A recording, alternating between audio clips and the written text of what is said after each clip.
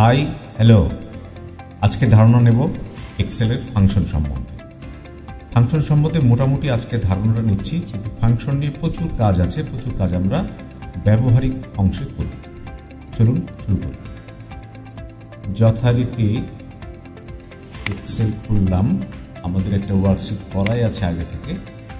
এখানে শিট এই ওয়ার্কশিটের মধ্যে শিটে আমরা ফাংশন পেয়ে যাব, এই যে ফাংশন খোলাই আছে এই শিটটাতের উপরে আমরা ফাংশন প্রয়োগ করব, এখানে এখানে এতে শুধু ফাইভ হান্ড্রেড আছে। এ ফাইভে বিতে টোয়েন্টি থ্রি সেভেন্টিন এরকম কিছু ডেটা আছে। সিতে ওইগুলাই আছে এবং আরও এক্সট্রা কিছু আছে। তো আমরা এটার সাম করতে চাই মানে যোগফল করতে চাই। যোগফল করতে গেলে কয়েকটি উপায়ে করা যায়। যেমন আমরা ইকুয়াল টু সাইন দিয়ে এখানে ফর্মুলা বারে ইকুয়াল টু সাইন দিয়ে যদি আমরা বি ওয়ান বি ওয়ান আবার সি দিয়ে আমরা সি ওয়ান সি ওয়ান আবার একটা প্লাস সাইন দিয়ে আমরা বললাম সি টু আবার একটা প্লাস সাইন দিয়ে আমরা বললাম সি থ্রি আবার একটা প্লাস সাইন দিয়ে আমরা বললাম এরকম করে একটা একটা করে আমরা সেল লিখে আমরা করতে পারি। এরকম আবার একটা প্লাস সাইন দিয়ে আমরা করলাম। এরকম আবার একটা প্লাস সাইন দিয়ে লিখেও দিতে পারি আমরা। C eight plus C nine plus C ten thirteen পর্যন্ত আছে plus C eleven plus twelve পর্যন্ত আছে সি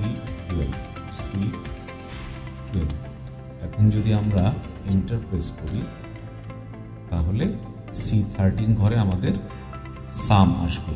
এই এই গাণিতিক সংখ্যাগুলোর যোগফল এখানে আসবে।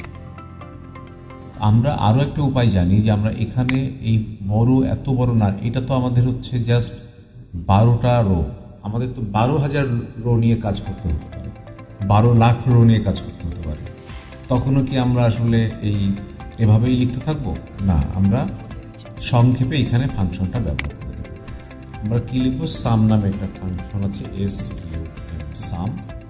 Sum নামের ফাংশনের মধ্যে আমরা একটা ফার্স্ট ব্র্যাকেট দিয়ে আমরা লিখব এই সি ওয়ান লাস্টেরটা আমরা লিখব কোলন সাইন দিয়ে C twelve C twelve bracket close করে আমরা যদি এখানে ইন্টারপ্রেস করি, আমাদের সি থার্টিনে রাখা আছে এন্টার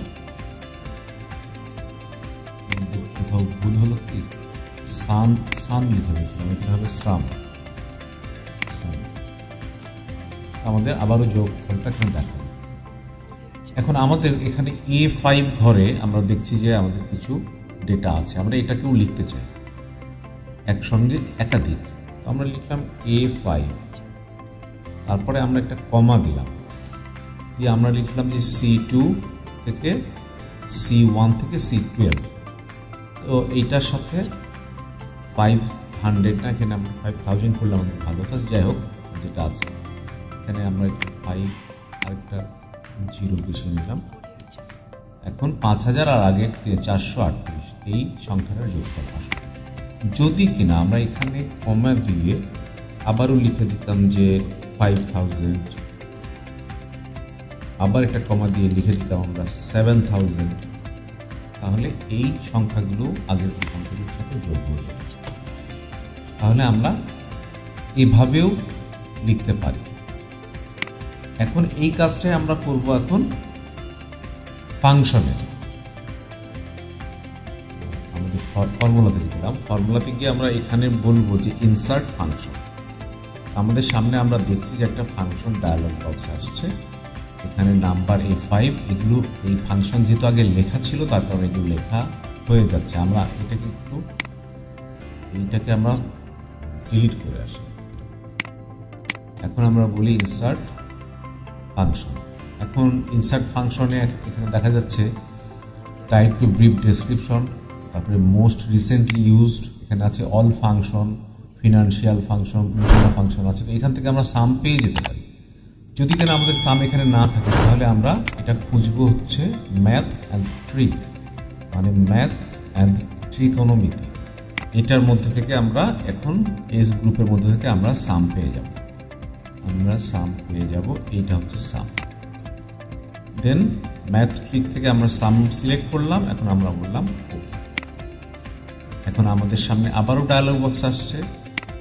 যেহেতু আমরা এই রোতে ছিলাম, তাহলে সি ওয়ান থেকে সি টুয়েলভ সিলেক্ট হয়ে আছে। যদি না থাকতো আমরা সিলেক্ট করতাম, আমরা এখানে লিখে দিই আগে এ এ ফাইভ দেন কমা দিয়ে আমরা বলে দিই C one colon C twelve তারপরে আগের মতন আমরা সংখ্যা বসালাম সাত হাজার কমা আমরা নয় হাজার, বা যে কোনো সংখ্যা।